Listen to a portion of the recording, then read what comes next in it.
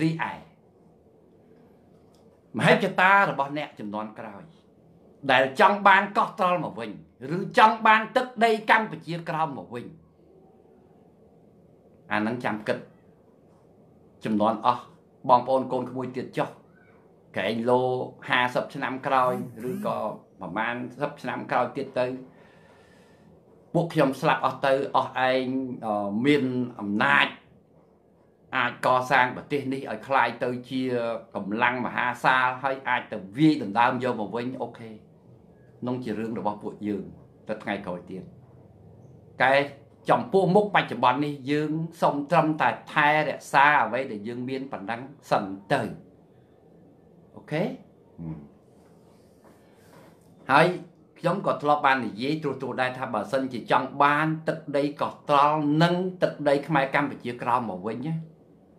វាគ្រោះថ្នាក់ណាស់សម្រាប់កម្ពុជា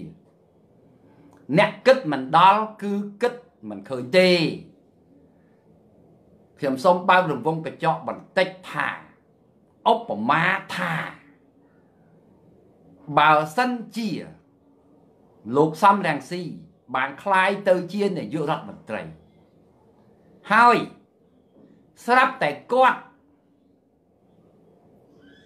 អាចទៅយកបាន ដោយវិធីណាយើងមិនដឹងទេយកបានទឹកដីកម្ពុជាក្រោមរួមទាំងកោះត្រល់មកភ្ជាប់ជាមួយនឹងកម្ពុជាកណ្ដាលដូចទងធម្មកោធ្លាប់លើគាត់ថាឲ្យតែគណៈបកសង្គ្រោះជាតិឈ្នះគាត់នឹងយកទឹកដីកម្ពុជាក្រោមមកភ្ជាប់កម្ពុជាកណ្ដាលវិញអញ្ចឹងខ្ញុំសូមសួរបងប្អូនពីលក្ខណៈជាក់ស្ដែង បងប្អូនមានដឹងថាសពថ្ងៃនេះតើប្រជាជនវៀតណាមដែលរស់នៅក្នុងតំបន់ខ្មែរកម្ពុជាក្រោមមានប៉ុន្មានលានអ្នកដែរទេឆ្លើយមកខ្មែរក្រមយើងយ៉ាងច្រើនណាស់មាន5ដល់10លានទេក៏ប៉ុន្តែយួនអាចមានដល់ទៅ40លានរាល់ថ្ងៃហ្នឹងខ្ញុំនិយាយមកកណាត់ណាមកកណាត់ខ្មែរក្រមនេះ អត់និយាយអាពីភូមិភាគកណ្ដាលឡើងទៅហាណូយទេខ្ញុំប្រាប់ហើយបើយើងភ្ជាប់ទឹកដីខ្មែរក្រោមទាំងអស់ហ្នឹងមកមកភូមិភាគកណ្ដាលយើងវិញសួរថានៅពេលដែលប្រជាជនវៀតណាមទាំងអស់នោះคลายខ្លួនទៅជាប្រជាជនកម្ពុជាស្របច្បាប់ពួកអាហ្នឹងតែយកទឹកដីមកវាមកទាំងប្រជាជនវាមកទាំងវាមកទាំងអស់ មិនមិនមែនយកតែដីហើយហើយជនជាតិវៀតណាមដែលរស់នៅលើទឹកដីខ្មែរកម្ពុជាក្រមយកទៅបាញ់ចោលទាំងអស់ណាមិនយកបាញ់តម្លាក់សមុទ្រចោលណា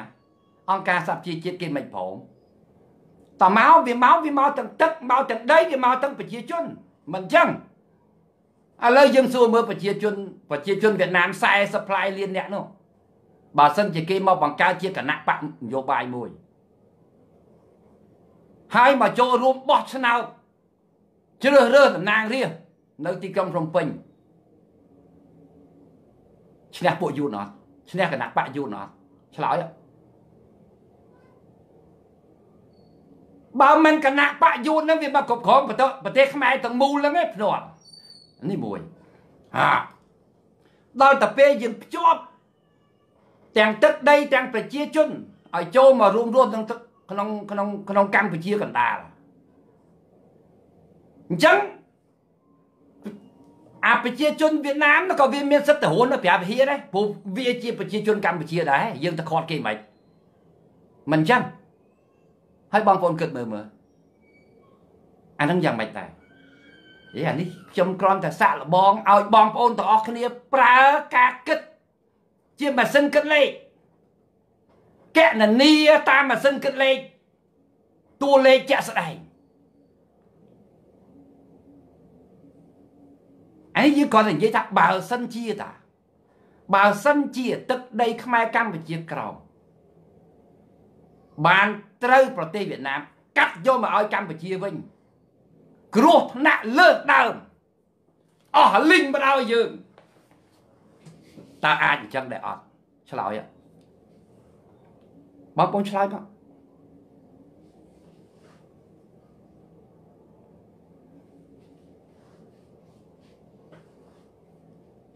រួមគិតរួមឆ្លើយមើលកុំឲ្យតែខ្ញុំចិត្តតែនិយាយម្នាក់ឯង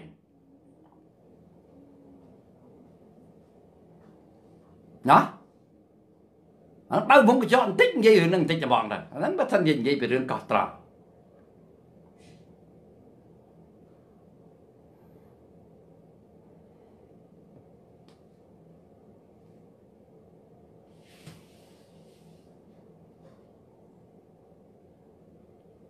យើងឲ្យបោកគ្នាយើងណាខ្មែរយើងនៅក្នុងស្រុកនេះ5 10លានឲ្យបោកជាមួយនឹងខ្មែរក្រម10លានទៀត25លានហើយទៅទល់ជាមួយនឹងតបោះឆ្នោតទល់ទល់ជាមួយនឹងអរិញគណៈបកយួនដែលមាន40ផ្លាយលានសួរថាឈ្នះវាអត់ឈ្នះវាទេ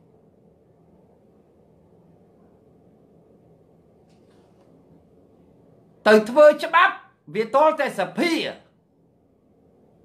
ជាអ្នកតែងច្បាប់ថាធ្វើច្បាប់ស្អីហាមឃាត់អ្មេចយកគេទៅបាញ់ចោលអង្គការសហជីវជាតិគេអនុញ្ញាតឲ្យយើងយកតែទឹកដីទេហើយអាជនជាតិយួនទាំងអស់ហ្នឹងយកវាទៅបាញ់បាញ់តម្លាក់ចោលក្នុងសមុទ្រទាំងអស់ធ្វើចឹងបានទេអត់នៅលើនៅលើពិភពលោកនេះមានអ្នកណាគេគ្រប់គ្រងឲ្យខ្មែរយើងធ្វើចឹងបានទេ វាអត់បានឃើញអានេះយើងគ្រាន់តែគិតលេងលេងទេណាប្រិមិត្តថាកុំកុំចេះតាគិតខ្លីពេកណាកុំខ្លីពេកបានអត់ណោះស្រឡាញ់ហើយខ្ញុំបងប្អូនណាពេលដែលជិះឡានចូលទៅទឹកដីខ្មែរកម្ពុជាក្រោមផងនិយាយពីវាល្អថាវាចង់បាន អើយល្អអីក៏ល្អម្លេះទឹកដីនេះនិយាយពីដាក់តាណាក៏ដុះនិយាយពីដីគេហៅថាដីខ្លាញ់ហ្មងចឹងមិនគេហៅថាដីសណ្ដោតំបន់ដីសណ្ដោបងប្អូននិយាយពីទឹកហើយនោះនិយាយពីព្រែកទូចទូចនិយាយពីដូចចលេនគ្មានខ្វះទឹកសម្បូរហ្មងណាដាំអីក៏ដុះដែរតែ ដល់ទៅយើងចាប់ផ្ដើមងាកសម្លឹងមើលគេហៅថារបៀបសិក្សាបែបប្រជាសាស្ត្រនយោបាយនយោបាយតម្រង់ប្រជាសាស្ត្រទើបញាក់សាច់យកមកធ្វើម៉េចយកមកយកមកដូចធ្វើអត្តឃាតប្រទេសខ្លួនឯងចោលគិតទេមែនអត់មែនដែរទេមុននេះខ្ញុំបានទទួល Telegram ពីប្រិយមិត្តរបស់យើងមួយរូប លោកបានមានយោបល់ថាគាត់ដូចជាមិនឯកភាពទេចំពោះអ្វីដែលយើងលើកឡើងអំពីបញ្ហាការដែលយើងយកទឹកដីខ្មែរក្រោមមកវិញហើយថាយើងមិនអាចគ្រប់គ្រងប្រជាជនវៀតណាមបានក្រោមហេតុផលគាត់បានលើកឡើងថាសូមឲ្យយើងពិនិត្យមើលទៅប្រជាជនចិន មានជាច្រើនពុជសាសហេតុអីក៏គេអាចគ្រប់គ្រងបានហេតុអីក៏យើងគ្រាន់តែយកដីកម្ពុជាក្រោមមកហើយយើងបែរជាគិតថាมันអាចគ្រប់គ្រងបានកម្ពុជាក្រោមអូខេខ្ញុំឯកភាពចំពោះការលើករបស់គាត់មិនថ្មីទេ បើបងប្អូនគិតថា អាចយកទឹកដីខ្មែរកម្ពុជាក្រោមយកត្រឡប់មកវិញបានហើយមានលទ្ធភាពអាចគ្រប់គ្រងប្រជាជនវៀតណាមដែលមានចំនួនលើសលុបលើសពី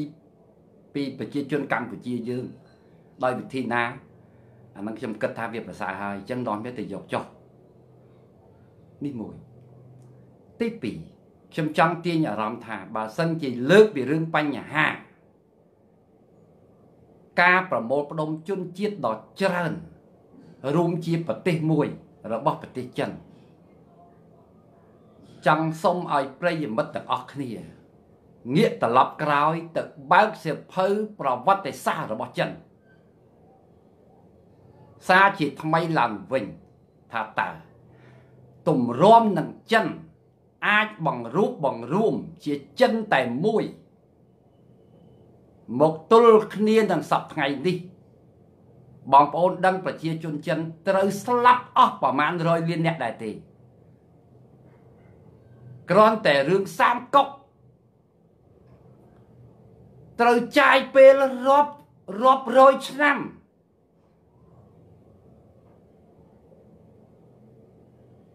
ដើម្បីបង្រួបបង្រួមពូជសាសចិនឲ្យមកនៅតែមួយ ត្រូវចាយពេលរាប់រយឆ្នាំរាប់ដំណររាជវង្សមនុស្សចិនកាប់សម្លាប់គ្នាតាំងពីមហាអំណាចចិនរហូតដល់ធ្លាក់คลายខ្លួនទៅជា អ្នកជំងឺប្រចាំអាស៊ីដោយសារតែអីដោយសារតែអាភិបរំពើរំពើរបស់ប្រជាជនចិនវាមានច្រើន អញក៏ស្ដាច់ឯងក៏ស្ដាច់អញក៏ស្ដាច់ឯងក៏ស្ដាច់មែនដែរទេនេះសូមបើករវងកញ្ចក់ត្រឡប់ក្រោយបន្តិចពីព្រោះមានប្រិមិត្តលោកថាសូមមើលគំរូប្រទេសចិនមកទល់នឹងថ្ងៃនេះមហាយៈចិនណាទម្រាំនឹងបានមកកៅមកវិញ ទម្រាំនឹងបានអីនៅនៅហុងកុងមកវិញបងប្អូនមើលរាល់ថ្ងៃអានឹងគេជនជាតិចិនតែមួយរបស់គេផងដែរហើយនឹងចិនតៃវ៉ាន់រាល់ថ្ងៃក៏នៅតែជាបញ្ហាឈឺក្បាលមួយមិនទាន់ចប់ផងចិនតៃវ៉ាន់ហើយនឹងចិនដីគោកហ្នឹងឃើញចិនទេចុះតម្រាំខ្មែរយើង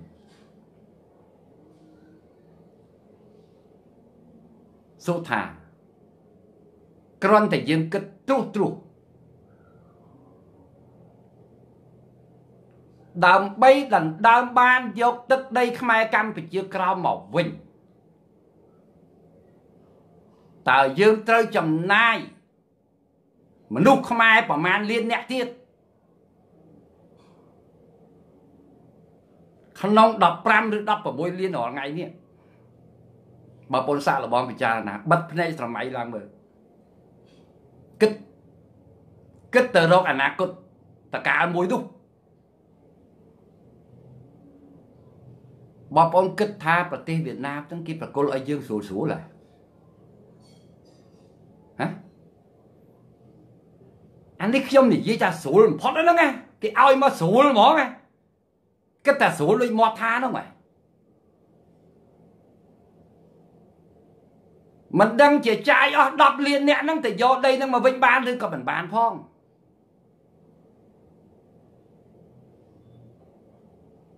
15លានអ្នកហ្នឹងត្រូវលើកតបលើកទីងតែច្បាំងយក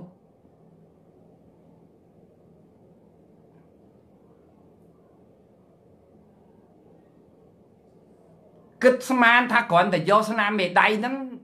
ទៅផ្ដិតទៅហើយហ្នឹងទៅយកទៅយកបានមកវិញស្រួលអញ្ចឹងមែនអីបើស្រួលអញ្ចឹងមែនតើនេះធ្វើទៅខ្ញុំផ្ដិតដែរខ្ញុំផ្ដិតឲ្យដែរបើប៉ាត់ចង់ផ្ដិតឲ្យ10ហ៎តែខ្ញុំគិតថាមិនដូចស្ដោះទេហើយបើបានមកវិញ ដើម្បីបង្រួបបង្រួមឲ្យពួកយួន40លានអ្នក50លានអ្នកនោះវាព្រមចោះចូលមករួមរស់ក្នុងជីវិតជាពលរដ្ឋខ្មែរតើត្រូវយើងចាយពេលប្រមាណ100ឆ្នាំ ដើម្បីបង្រួបប្រកែថាបង្រួបបង្រួមជនជាតិណាបងប្អូនមើលចិនដឹងទេបើមើលមើលតាំងពីរាជវង្សណា តាំងពីមុនសាមកុកមករហូតមកទល់គ្នានឹងណែទៅតែមកម៉ៅសេតុងណាប្រើរបបផ្ដាច់ការកុម្មុយនីសអាបបធរឲ្យបដិវត្តបបធរកាត់សម្លាប់រាប់រយលានអ្នកស្លាប់តម្រាំនឹងអាចបង្រួបបង្រួមប្រជាជនចិនឲ្យមិននៅបានដូចរាល់ថ្ងៃនេះប្រជាជនចិនស្លាប់ច្រើនណាស់ សួរថាយើងមានបានគិតដល់ចំណុចនេះអត់អូខេអរគុណចំពោះអស់លោកដែលបានផ្ដល់អនុសាសន៍ជាការគិតថាលោកសវណ្ណអឺគាត់មិនគ្រប់គ្រងទេណាក្នុងការដែលបន្ទុចបង្អាក់មិនឲ្យកូនខ្មែរយើងទៅយកដីកម្ពុជាក្រោមមកវិញខ្ញុំមិនបន្ទុចបង្អាក់ទេណាអាចយកបាននាំគ្នាទៅយកចោះ យល់គ្រាន់តែក្នុងនាមយើងគ្រាន់តែជាអ្នកប្រុកប្រាជ្ញរកហេតុរកផលគ្រាន់តែចង្អុលបង្ហាញបងប្អូនថា ដំណើរដែលត្រូវអ្នកដែលអ្នកទាំងអស់គ្នាគិតថាទៅយកនោះ វាត្រូវឆ្លងកាត់មហាឧបសគ្គមហាវិនិស្សកម្ម